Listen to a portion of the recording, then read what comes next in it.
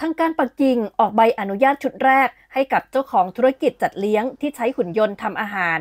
โดยสำนักงานกำกับดูแลตลาดเทศบาลปักกิ่งกำหนดมาตรฐานของการใช้หุ่นยนต์ หรืออุปกรณ์อัตโนมัติในอุตสาหกรรมจัดเลี้ยง รองผู้อำนวยการแผนกอาหารและเครื่องดื่มสำนักงานกำกับดูแลตลาดเทศบาลปักกิ่งกล่าวว่า เพื่อตอบรับกับการให้บริการรูปแบบใหม่ของอุตสาหกรรมจัดเลี้ยง ทางการปักกิ่งจึงกำหนดเกณฑ์มาตรฐานของอุปกรณ์อัตโนมัติและการบริการ พื่อช่วยให้ภาคเอกชนนำอุปกรณ์อัตโนมัติมาใช้ให้เร็วที่สุด นอกจากนี้ทางการปักกิ่งยังให้ความสำคัญเรื่องอาหารปลอดภัย โดยกำหนดแนวทางในการจัดการ และตรวจสอบความปลอดภัยในการจัดเก็บและขนส่ง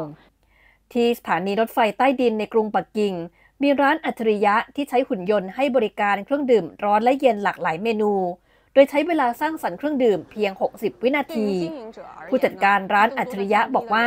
ระบบนี้ช่วยลดทั้งต้นทุนแรงงาน การตกแต่งและค่าเช่า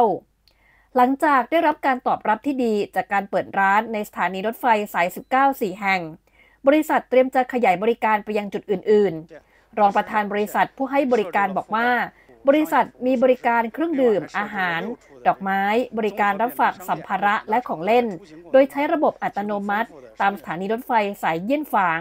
สายต้าซิง Airport Express และสาย 19 นอกจากนี้ก็ยังมีร้านสะดวกซื้อครบวงจร 6 แห่ง เพื่อให้บริการผู้โดยสารระหว่างการเดินทางด้วย